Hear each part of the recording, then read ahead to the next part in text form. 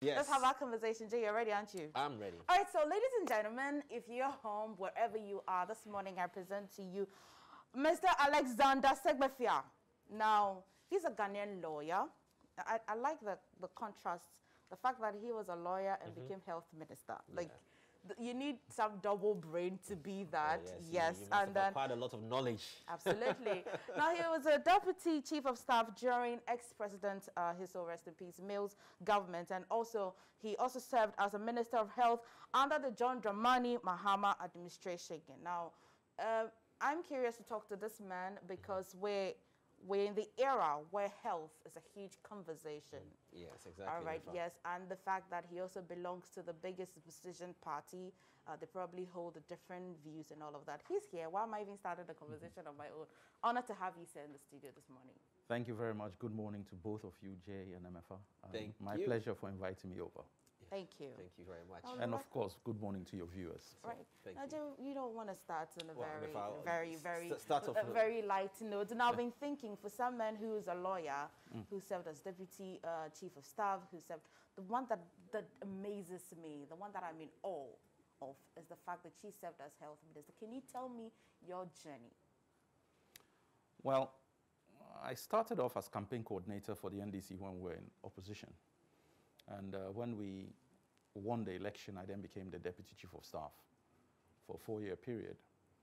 And then uh, when we lost Professor Mills, and but were able to win the next election, uh, I took a lull for a while, and then I came in as deputy defense minister. So I actually was in the defense ministry Wow. for a while. And actually, when Ebola was at its rage, I was actually in the defense ministry, and we had to play a part with regard to the construction of uh, isolation centers, etc.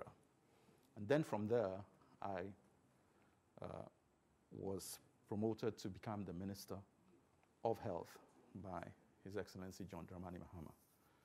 And so I was uh, the Minister of Health for close or just over 18 months. But people s- seem to think I was there for four years. I actually wasn't. uh, but I was there for 18 months. And it was a, an interesting journey. Um, with the exception of, say, the Attorney General's position, actually, for most ministries, when you think about it laterally, they are management jobs. Right. So, yes, if you have some expertise in that area, it helps. But it is not, if you've been in management and you've managed things for quite a while in your life, then you just bring the same skills to bear. And for the health ministry, it's actually quite useful because when you put a doctor in, then the pharmacists become upset. if you put a nurse in, then the doctors, and this become yeah. upset. If you put in, so depending on which profession you take and put in the ministry, and when I say upset, I mean it in a light way. Right. There's some jostling and there's, there- there's a suspicion of favoritism. But I'm a lawyer, so I have no uh, link with any of the players within the, the health sector. So everybody feels free to think that, well, they can approach me. And you also look at it very dispassionately. You look at it not with regard to, I have to be careful what I do on this occasion because I come from a particular fraternity. You just do it objectively and do what is best for the country and what is needed at the time without fear or favor, uh, one way or the other. So actually, it's a good thing. So long as you have, with management, the thing is you need a lot of people skills and management skills. And if you have that, then uh, you, you can weather the storm. But it is a very, one of the more difficult jobs in uh, government, governance. Well, I'll come back to how you grew up, your education, and all of that. I still want to stay here slightly as somebody who's been in health ministry uh, or even governance before. Would you say personally you're impressed at the way the student government is dealing with the uh, COVID-19 issue in this country? Would you say? I don't think that I'm here going to mark them. Anything I say is taken, going to be taken with a pinch of salt. Right. What I'll do is I'll tell you about things that have been done which are useful, and then I'll tell you about things which uh, could have been done differently or better. Okay. And then I'll leave the audience to make up their mind. But I anything I say, i- i- you, you will be taken with a pinch of salt, or they'll say, look, because you come from the NDC. And I think that we have to try and move away from the NDC and NPP politics to a certain extent Absolutely. um, on this particular issue because actually, when if it gets bad, it has no Affects, political color. I mean, you, exactly. it just hits everybody. So I'll dodge that question for now. well, but, uh, but I've, I've, been listening to you for some time, and you yes. have the view that your delayed infrastructure, your delayed laid structures out, especially template that you used in fighting the Ebola, you thought would have been adopted to use today. This is this is. My view is that it's not the policies that the government has put in place. Okay. It's when they put them in place. So, um, the COVID team has put out two documents already to the government, giving various advice. And we're happy to see that a lot of the recommendations that were put forward by us, right. as well as our flag bearer, uh, our presidential candidate, His Excellency John Dramani, have been picked up and done by government. What the issue has been with us is simply that the timing of the implementation has caused us some concern. So, what are some examples, if you might? I talked, and the president talked about masks for four, five weeks before masks became something that you should do. This should have been done from the beginning. And actually, because you can locally produce, there's a difference between the professional mask which you're wearing in a mine, and there's a difference between homemade. And the education on it has also been not the best. If you go around telling people wear masks because it protects you, what you're saying in actual fact is that everybody should get a professional mask like I'm wearing and you're wearing because these professional ones, you, when it's very difficult for something to enter it, and it's also very difficult for you to let it go. If you have a homemade mask, it does less of getting people of you inhaling because it's not been done in a way which technically protects you. So you can still get it, but it's more difficult for you to transmit mm. because once you're wearing the mask, if you cough, you shout, you do anything, it stays within your environment. So when I wear a homemade mask, what I'm telling you is that I love you enough and I'm protecting you from me. Now, if you love me to wear one, so in that case, I can't give it to you, but you can't give it to me on the homemade mask. On the professional mask you're wearing now, either way, you can't give it to me and you can't get it because they are designed that way. But then they are disposable. So unless you have enough money to be buying them at a, a certain rate, you will have to get rid of them.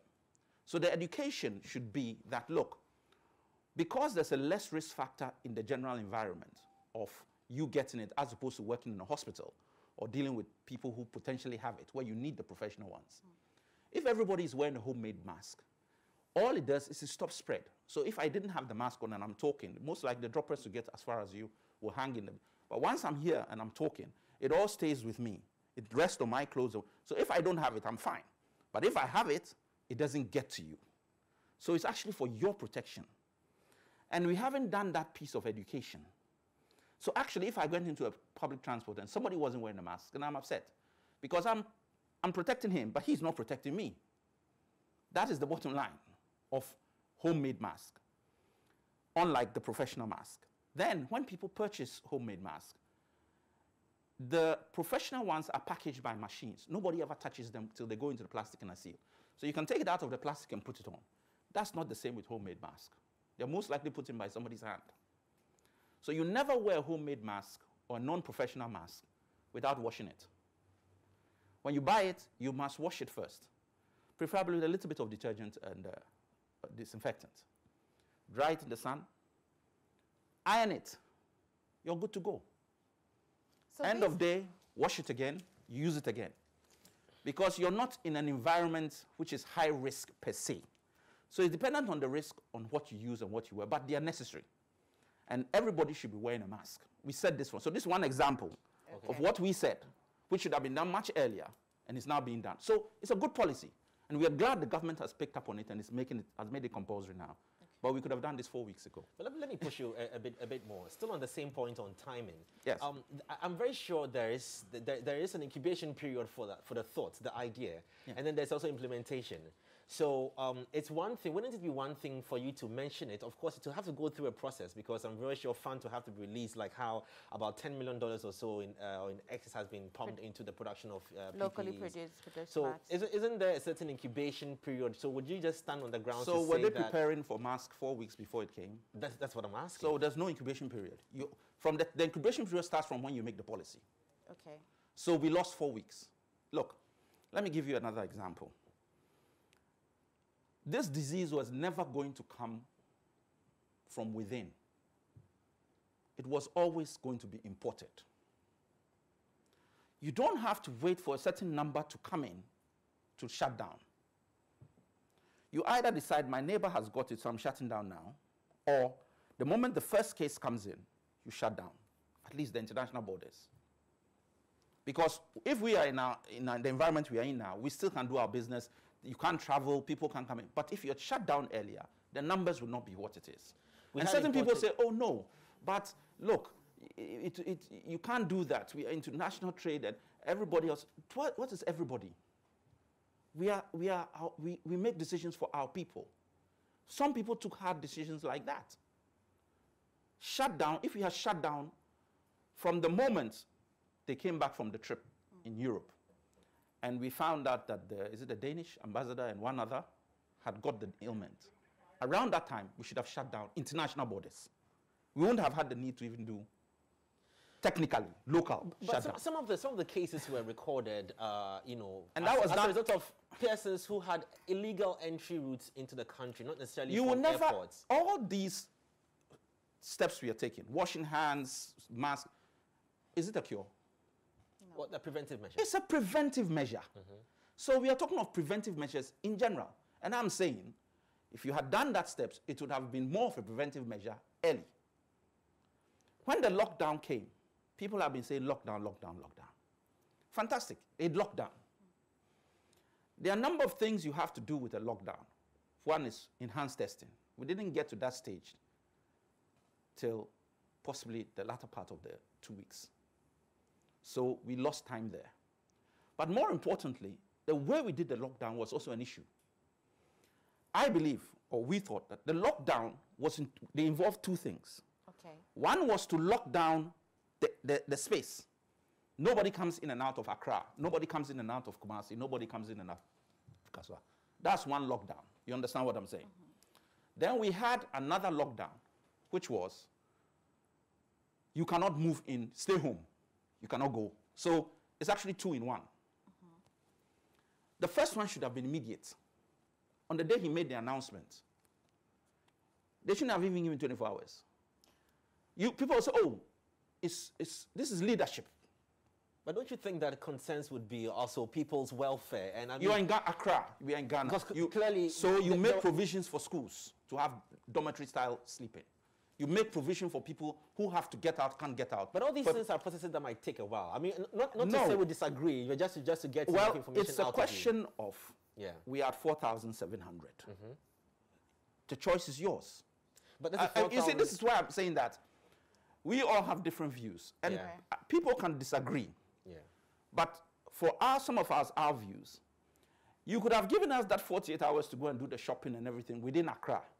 But we should have stopped people from leaving Accra and Kumasi on the day that it was announced there was a lockdown. Because what happened was that that two days, nobody, anybody who didn't want to be under a lockdown provision left town. Now it's in other regions. We are now beginning to get the numbers increasing in the other regions. But, and it's a direct think- result. Don't you think to mobilize to mobilize all the resources, I mean, to make provision for relief packages, stimulus packages, and all these things, which would, which I think uh, partly the the minority has actually criticized government for wrong protocols observed in some of these things. Don't you think some of these things would take time? Hence, the need for things like 24 hours to be able to execute some of these Why things. do we Just make asking. excuses Okay. for lack of proactiveness. All along, we have been reactive. We heard about it in January. And I'm not saying government is uh, the only one responsible. Many governments have the problem. The fact that many people have the problem does not make your position right. That's not the, the, the basis of it. We've had Ebola in the past, it never came in. But we knew what happened and how it happened when we left office, the interministerial committee that existed for Ebola was still running at the point when we left office. It was being chaired by my deputy, uh, Victor Bampoe, and all the others were still running it. We had a dedicated office for emergency issues like this. What happened since we left office? Has it, it went into disuse. So basically, when this thing came back, we had to now go back, dust the books, and say, whereas it was meant to be a permanent thing that should go be ongoing. So that when we get a disease like this, we had 40 something odd people who had been trained with regard to the use of taking off PPEs who went to the Ebola countries. Yeah. They came back. They were used for part of the training of staff here. And it was, a, if you look at the manual, there's supposed to be like every quarter, every six months, there's supposed to be a training this thing. Every hospital should have an isolated place where if you get an illness, you send it to. It's all there. It was left into disuse. So when we say that it, they are not being proactive, it's now you have to now go and dust, read who was in charge, who is doing this, who is that. That should have already been in place. Then we would have been in a better position to deal with it. So my position is not that what steps government took was wrong. No. Right. The steps, but the timing and how we let things go into disuse. So, you have a bank hospital, you don't open it. Ebola comes, uh, sorry, uh, COVID, COVID comes, comes. All- and then we need centers. So all of a sudden you realize that we need that center. Somebody even goes as far as opening his mouth to say, excuse my French, I, di- I, I digress, saying to us that, not opening his mouth, saying to us that this is for VIPs. Forget that. You still open it. You have to use the center at uh, the medical center in Legon. I don't think there's a medical center with an ICU in West Africa that is as top grade as that one. I see. I was the Minister of Health. No, it's a top grade ICU. Why we are not using it up to the COVID 19 beats my mind. But hey, let's drop that. Should I be able to blame You- um, government? You I mean, go no, to- you, you, you are health, so not Yeah. to not to uh, tap too much of energy No, in you. but, But I see in, like, in Legon I, is I'm, I'm talking about reactions from center. reactions Allow from him. Let hear what he has from governments, sitting government, past governments, Yes. previous past governments, Yeah. and all previous past past past governments. Yeah. Let's take an issue like um, like uh, the the dumsor. It Yeah. was it's been a conversation that we know we're going to hit a power crisis. Yeah. There's increase in population. There's demand for the power supply. It was coming, but it happened. So those these things are things. Aren't these things things you can't almost avoid? The, uh, the, the, the, you see, the, the process of governance is problem solving. Okay. When you're put in government, it's, the, the point is that there are problems going to come at you every day. And it's your duty as government to solve them. But what I found interesting about the narrative from president, vice president, and everyone is they went on the defensive, immediately be thinking, let me ask a question. All of a sudden, we saw during the dumsor, which was used as an example by uh, the vice president, did the other side who were in opposition at that time ever give one piece of credit for any work that had been done by the government at the time? Not, not that I can recount. You, you won't find one. But this is not new. No, so, but, but the point is, we have set up a COVID team mm-hmm. and we have given documentations. And even as I sit here, mm-hmm. I'm telling you what points are. I'm trying to be, do constructive criticism. I'm not saying you have done this. I'm not, I'm not being pinicky. I'm telling you what could have been done. different. But I've also said, your policies that you have put in are good. They would never say it. And this is the difference between us and them. Excuse me, now I'm going into the difference. And I'm doing it because if you want to throw a stone, know where to throw it and when. Because you are sitting, they have never, ever given credit for anything which, whether you brought Dumsor as a, a- an example, it's a bad example. Because at the end of the day, you're comparing apples with yam. It's not even a case of apples with pear where they are both fruit. It's not. But putting that there, when that was going on, what positive steps, even when Ebola came on, the statement was, you better not bring it into our country. I mean, why? And now all of a sudden, we are supposed to be the West because we have given constructive criticism of steps. When they've done things right and we're giving credit, we, we say, we've said, look, we put forward policies, you've taken them. We are grateful. Yesterday, the president did something which we've been asking for for a while, which was good. He said, Friday, this was the number, this was the positivity. Okay. Saturday, this was the number, this is the positivity. Sunday, this is the number, this is the positivity. We've been asking for that for a while. But in fairness to him, he said, look, because there's backlog, we can't do it. But if there's a backlog, and you're not able to put them properly, then don't be, you shouldn't let your people come and talk about peaks. Because you don't it means that your figures are not correct or they are not in a position to make that type of analysis. Now that you are giving us daily figures, mm. after two weeks, you'll be able to draw a proper or plot some proper graph because we know what is happening per day. If you look at the stats, when I listened to him, just roughly, 5,200 and something odd on Friday, 251 of them positive. That's about 4.7%. Yeah. Next day, less tested. 2,250 odd tested. But 266 positive. That takes to 11.8% of that. The third day, Sunday, more tested, 3,045, I think, something like that. 160 tested. You are now back to 5.2%. If you take the whole overall, which is 160,501, against the 4,700, you are at a percentage of 2.9. So even based on that, if the average for the whole period is 2.9, but you're at 4 point something percent, 11 percent, you're nowhere near a peak. In fact, your thing is actually going up. It's actually going so up. I'll, I'll, I'll have to hold an explanation to that. I mean, we'll, the, we'll, the, information minister given an explanation to that. When we come back, but I really I want to profile at, you. I'll go for a break. When we come back, we'll talk about you. Now, I'm quite curious about your teenage age. I mean, I've, I, I didn't mean to spike you up on what's happening, but I just wanted to uh, get into okay. your mind as a, as a health minister once before. And sure. So I, I'm glad, I really would love to explain that bit, but now I'm off. Well, I'm you can, we, you can explain it. I know about the numbers and whatnot, but, but uh, we'll come back to that. Don't worry. Let's yes, deal with Yes. With, um, um, tell with me about your teenage age. um, I had the fortune of going to one of the better secondary schools in Ghana, uh, Achimota Secondary School. Oh. Hmm. When um, I keep telling them, they don't listen. Oh, no. And uh, Achimota School, isn't it? That's you know, three goals to nil. and that was good. Okay. Um, I spent seven years there. And actually, and I should mention my primary school, which is Christ the King. I went to Christ the King. Oh. And then from Christ the King to Achimota. And uh, I remember in our year in Christ the King, we had a gentleman who I think went to Prempeh. Yeah, he did. KK Amankwa, a good friend of mine. He topped the whole of Ghana and West Africa. Wow. wow. In common entrance in those days. And uh, I think he had 328s, and the next person to him was about 321.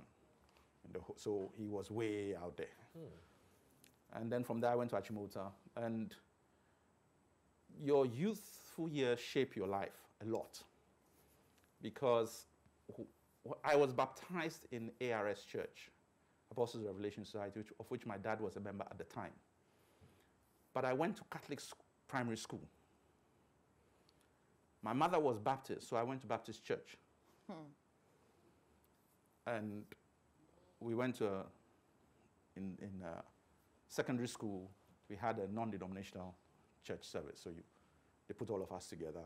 And so I had had the um, education of seeing different religions and how they are taught, and it shaped my view about religion and how, at the end of the day, it's your personal relationship with God that actually matters. Mm-hmm. Um, not necessarily which, and you have to be able to also to, yeah. disagree with your church on some things, but have the general idea that, at least for the generality of what they are doing, I can be part of that. So, and my mom was extremely religious. Okay. But not in a way where she rammed it down your throat. Okay. So she made you find yourself within the way she prayed and the way she lived her life. More so than my dad. My dad was a full fledged politician.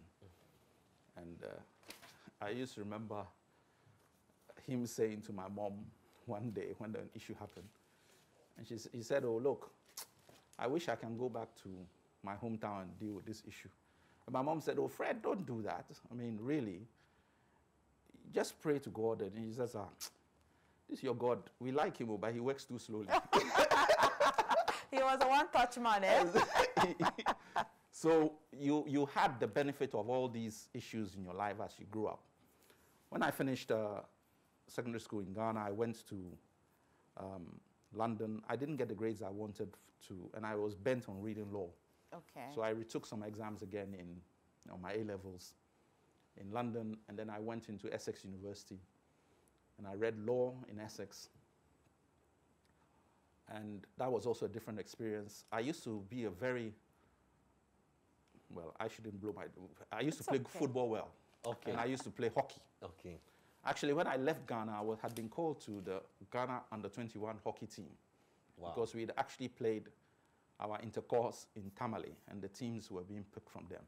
Unfortunately, I had to leave.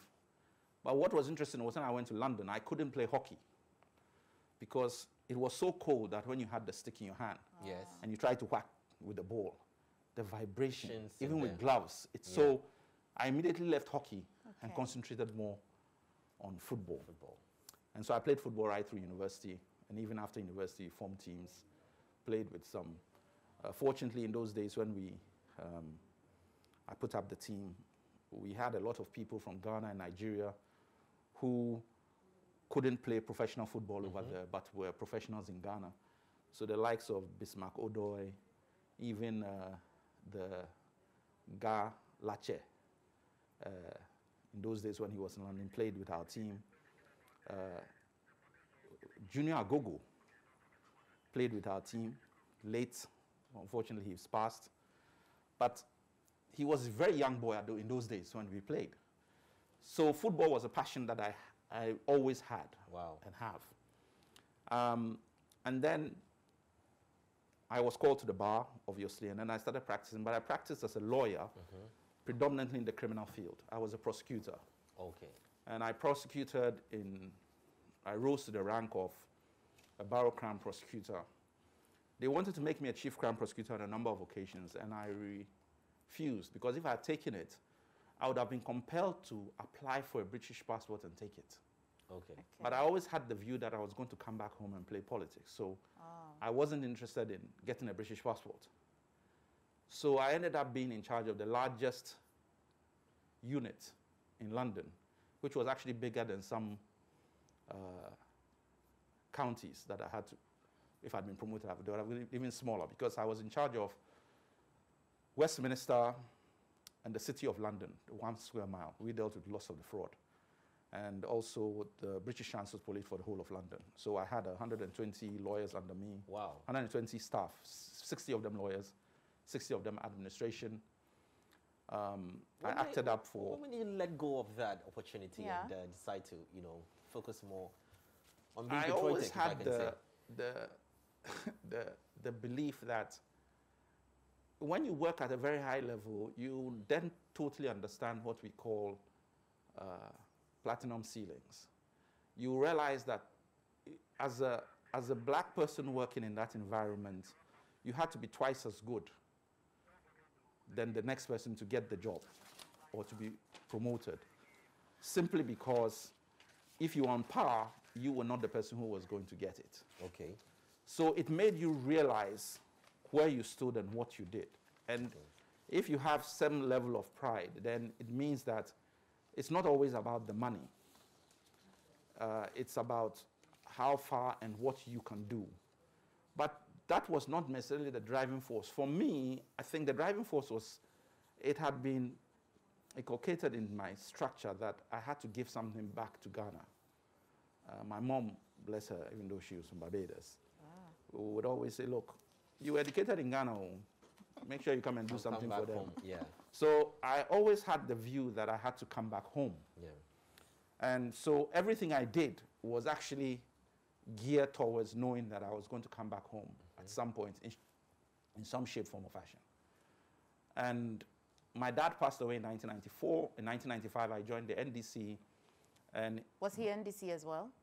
my dad was not, there was no ND, well, the there time. was, but he was not NPP. He came from the, he was an Nkrumahist. Okay. Right, okay. Okay. Uh, uh, Listen, so he was more maybe CPP inclined. Okay. Mm-hmm. But he was part of the Limann PNP group, and he was an MP under NOW, uh, National Alliance of Liberals, way before your time, excuse me. Uh, and this was sometime in between 69 and 72. So he'd always been inclined towards uh, the social democratic dispensation Okay. political parties. And so that obviously influenced me up to a point.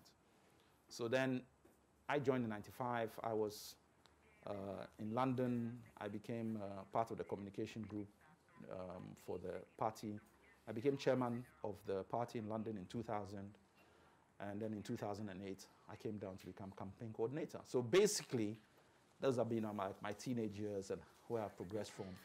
And once I came down in 2006, it was to uh, become the campaign coordinator to 2008. Yeah. I haven't looked back since. Well, that's fantastic. I, honestly, we wish that we could spend an extra 30 minutes with you, but the, the few uh, five, six minutes we have left, we want to Yeah. just try and uh, get some rapid responses from you, if I can say that, Yes. on, on, on some short game we want to play with you. Yeah. Uh, interesting, I know. Did I see your eye popping out? They, say, they say you should always be, be, be prepared, uh, as you rightly Don't put worry, it. he's a politician. Oh, Top yes. of it, a lawyer. My A goodness. lawyer. Yeah. I hope I don't get sued for this one. Well, What if you not to start? All right, so I'm just this is this is just simple. We want to know first of all that uh, would you rather be invincible or you have super strength? Invincible. Okay, so that took you forever. I Oh, wanted you us want to to snap? us. Yeah, yes. okay.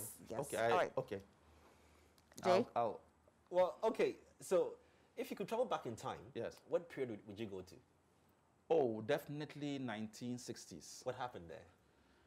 The world was changing. I thought you- Anything went. I thought you had a girlfriend you loved then. I was too young at that time. When you say the world was changing, what, what was how? Is it similar to what well, we're experiencing well, now? yes. I mean, no, but you know, the, the Beatles, 60s, all Okay. that was Ah, happening. You know, the, the, the perspective of, of life was changing. was the, changing. the Cold War and things were. It, it was a very inter- from what I read. I mean, I grew up. I was a kid, but you know, I grew up, and you know, you, those days you had talent, James Brown Yeah. and all. I mean, Ah. you know, yeah. I grew up with Listening listening, to- listening to him and stuff. So from the music perspective and stuff. So yes, early 60s, now, on a scale of one to ten, how good are you at keeping secrets? very good. Ten. Wow. trusted, trusted person. Then. Or let me say, let me be fair, eight or nine. eight or nine. Favorite junk food. Oh, uh, I, what's the definition of junk food here? Oh, you know the, the regular, the, the one we, The, we uh, get well, from uh, the, the, these fast food joints. So your fried rice, your fries, no, your it should chicken. be between Waakye and Kelewele. Oh, Tell me the nickname your parents gave you when you were a child. I didn't have a nickname. And Oh, what about the friends? Allegro. Allegro. Allegro. My, Play- that was that was a school, my nickname at school. So all my brothers became Allegro after me. Place you most want to travel to. Oh wow, that's a, a very interesting one. But I, I've traveled a lot already. But uh, if I was asked, look, pick one place where you could go and, and, and have fun or just relax, Yes. it would be somewhere in the Caribbean. But Wow. Texting or talking? talking. Why not? The, the last one, a big one for you, if we have time. Fill in the blank. President Akufo-Addo is. Late.